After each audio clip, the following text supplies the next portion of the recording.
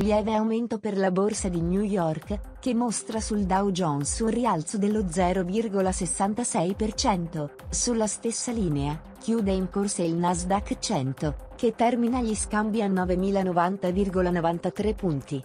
In denaro il Nikkei 225, più 0,71%.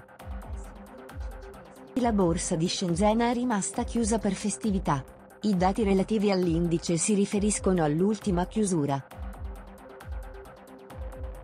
Piazza Affari non si sposta dai valori della seduta precedente, in linea con i principali mercati di Eurolandia.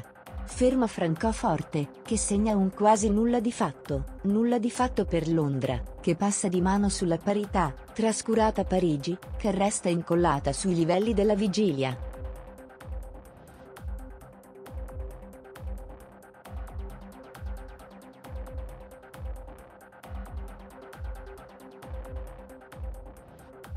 In fondo alla classifica degli indici settoriali troviamo il comparto alimentare con un calo di meno 0,44%.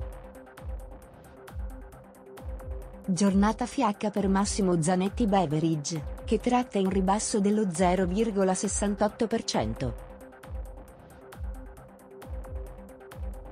Si attende stamattina dall'Italia la diffusione dei prezzi alla produzione, sia per la base annuale che per quella mensile. Ancora stamattina, in Unione Europea, sarà pubblicato l'M3. Sempre questo pomeriggio, negli Stati Uniti, saranno pubblicate le scorte di petrolio,